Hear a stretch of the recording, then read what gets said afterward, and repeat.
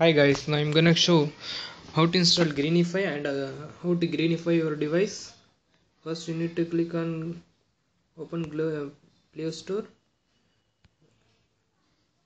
And search greenify now you can see that like that. Greenify i am already installed it. So, and uh, now now you can download and install it on your device. Just go to greenify click on now you can see that lots of apps are running now in backgrounds. The main purpose of the greenify is to close the background apps.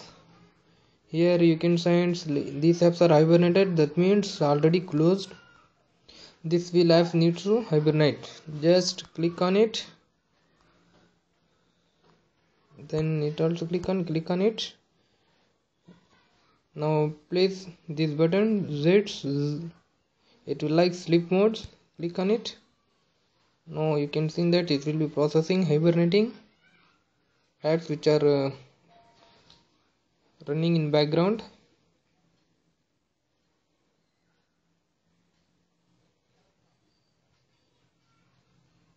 Here you can see that uh, all the apps are uh, hibernated. These apps are which will be run in background and now it will be closed you must install Xposed framework to operate greenify Thanks for watching.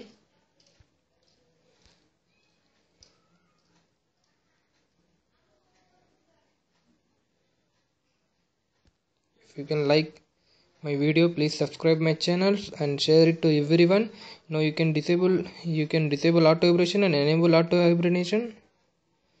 Now you can also create shortcut hibernation shortcut please click on it. Mm. it's a lots of experimental features. Keep notification limited. It will need a donation package which will be obtained in google play market. Now you can download the donation package and you can also uh, greenify your system apps. Mm. it will need the Xposed framework. Your mobile must rooted and uh, it will be installed Xposed framework. Now you can see that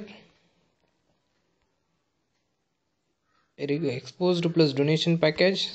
Thanks for watching. If you like this video please subscribe my channel